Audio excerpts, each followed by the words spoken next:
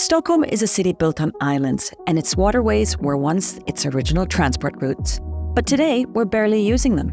The problem is that the current diesel vessels are inefficient, costly to run, and heavily polluting. Even though just a small percentage of commuters travel by boat, the city's aging fleet consumes more fossil fuels than all other forms of public transport in Stockholm combined.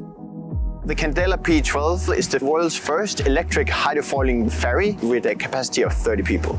The hydrofoils means that around 12 knots, the boat will start to lift above the surface. And around 16 knots, you're completely above the surface. It actually reduces the energy consumption by about 80%. It also means that we create no wake. It won't disturb the shoreline in a way that a traditional ferry does. This means we can get a speed exemption for much faster commute. Candela has been working on this project for, uh, what, about four years now. So we're super excited to have our first commercial boat in operation.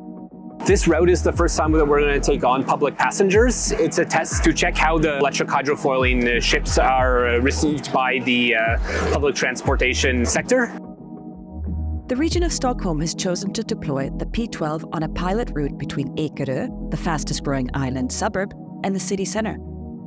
On this 15 kilometre stretch, the P12 will cut travel times in half for commuters, thanks to the speed exemption in the city centre. Ekerö is quite close to Stockholm, but it's quite poorly connected in the sense that there's a lot of traffic on the roads. The current best alternative today by public transport is taking approximately an hour. So with our 30 minute trip today, we proved that it's possible to have a much faster connection.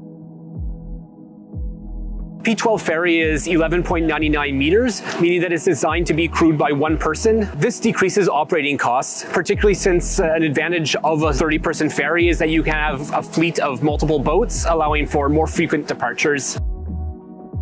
Very quickly, the operators recover their initial investment because they have much lower energy consumption and much lower staff costs. And also because they can utilize their ships at a higher rate, they're running their ships full and they can take payments for every single seat on board.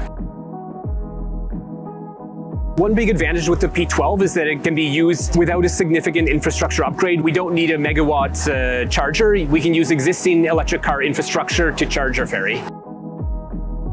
The Candela P12 marks a turning point, a future where our waterways once again become the veins of Stockholm's life, offering a clean, efficient, and sustainable way to connect people between the city's islands. The journey starts here.